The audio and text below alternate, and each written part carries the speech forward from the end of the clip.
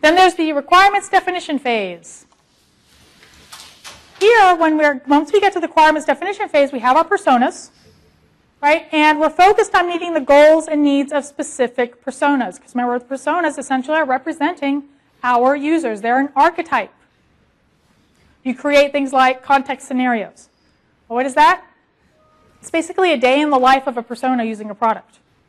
You actually tend to develop numerous context scenarios. It helps you understand how they're going to use the product.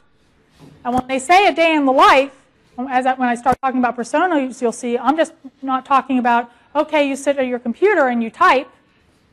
It's how does their work fit into their overall life? Are they using a handheld? When do they use a handheld? What are they going to use it for? Are they using it and then they're going to go pick up their, their child at school? Those sorts of things. It considers scenario-driven requirements, as I just described. Business goals. So remember, there are different types of goals. It does, does include the business goals, desired brand attributes, and technical constraints. How do you want to brand it? What are your technical constraints?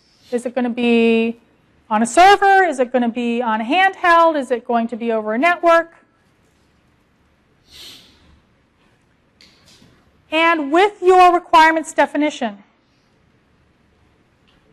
this is another area where you have to take your research in these various areas.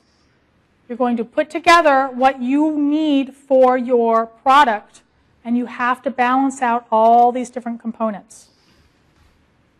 Remember, throughout the semester, I talk about how you have to balance things out. There's no perfect answer. I know it'd be so easy if there was. Your requirements definition phase is an area where you really need to focus on balancing user, business, and techn technological requirements that you're going to follow for the design. You are going to have to give and take in each of those. How much you can give and take in each of those areas is going to vary from one situation to another. So, how much leeway do you have when it comes to technological requirements? You may have a lot. You may have very little. You have to balance that out with other things like the business requirements and the user requirements and the user goals.